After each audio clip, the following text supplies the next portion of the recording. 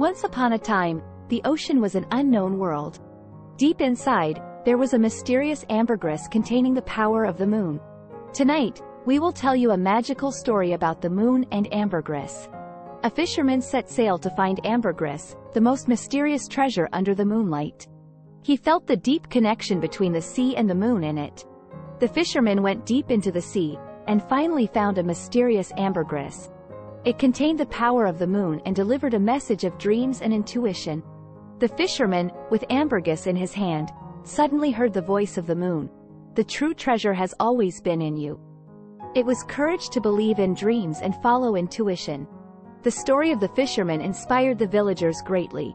They all started exploring their dreams and listening to their inner voices.